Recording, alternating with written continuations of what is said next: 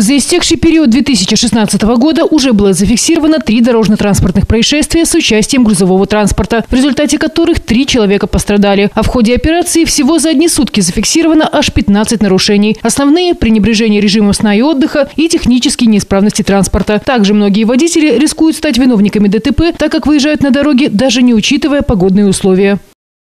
У нас сейчас ухудшение погодных условий на сегодняшний день. Вот, резина то есть, не соответствует данным транспортным средствам. То есть является летняя резина то есть, и повышенный износ протектора.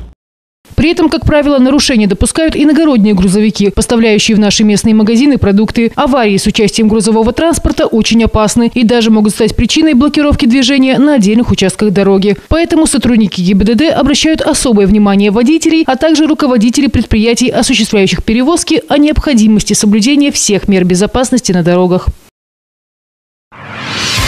Хочешь узнать больше? Пульс города ВКонтакте. Все самое актуальное и интересное. Заходи, комментируй, предлагай свои новости.